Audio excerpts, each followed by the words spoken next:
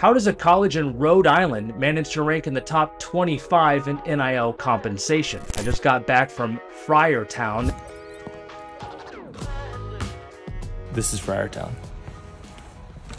Here are the top five things that you need to know about Providence College and their NIL program. Number one, Providence has great leadership. Steve Napolillo has been the athletic director for two and a half years, but he's been at Providence College for 20 plus years. And in those 20 plus years, he's raised nearly $100 million in gifts for Providence College. He took over for Bob Driscoll, who was on campus for 21 years. So these guys are tight knit in the community. They know what to expect, they know what Friar fans want. And that leads to a lot of energy amongst the team, the staff, and the coaches that they bring to Rhode Island. I want to give a quick shout out to some staff members here. We got Jennifer Cunningham, who runs the Friar Edge program. We'll talk about that. Joe Nicastro, who's essential in the compliance side of thing and really figuring out how to stay ahead. And then Mariana Perez, who's taken over all things NIL at Providence College. So leadership is the starting point on any NIL program, and Providence has a lot of it. Number two, Providence has a well built collective. The Friar Family Collective is one of the first in the Big East and one of the most well structured across the country. It supports athletes across all sports, and they've got corporate partners like South Coast Health and Coca Cola. They also run friargear.com, where fans can get officially licensed NIL merchandise, jerseys, and shirts, and different opportunities to buy things that directly benefit the student athletes at Providence College. The collective is also deeply engaged in the community. They do some impact programs and things like Make a Wish events and Stand Up to Cancer. So they're giving back to the community, working together with student athletes in Providence, Rhode Island. I want to give a special shout out to Mike and Brian and the entire Friar Family Collective team because they're giving us feedback and insights on how to make Opendorse better. A lot of the insights that they provide us are changing and impacting the ways that we build our platform for collectives across the country. So shout out to the Friar Family Collective. And a collective is essential in having a successful NIL program today in college athletics. Number three, Providence has best in class NIL tools. When student athletes arrive at Providence College, they're told to download the Opendorse app where they get their NIL education, they get their NIL content, photos and videos from practice and games. They get tens of thousands of pieces of content directly from Providence College Athletics, which they use to build up their brand and build up their profile in the Opendorse marketplace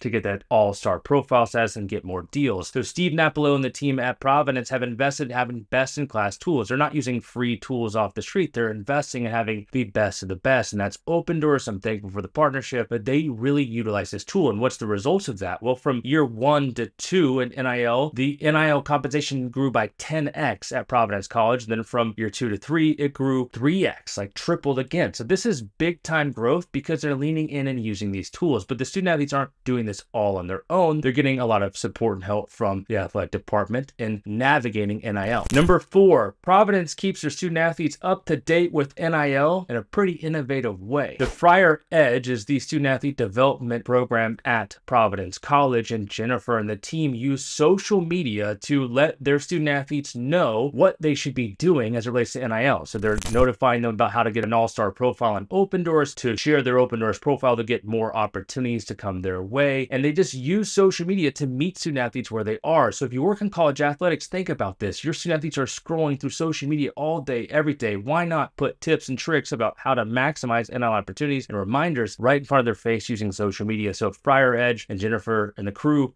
they're doing this right. Everyone should be doing this. And number five, Providence attracts big time brands. All of the things I've just mentioned have led to big time brands wanting to work with Providence college athletes. Devin Carter was one of the dozen or so athletes that Dunkin' Donuts partnered with last year, and Devin's now headed off to the NBA. Bryce Hopkins, a standout on the basketball team at Providence, just landed a deal with Verizon through our partnership with Zinx. So big brands see Providence athletes and the opportunity to market to Rhode Island consumers as a great value, and the athletes at Providence are easy to access and work with. It's just something that happens when you put everything in one place. So I'm super thankful for Providence College and their investment in Opendorse.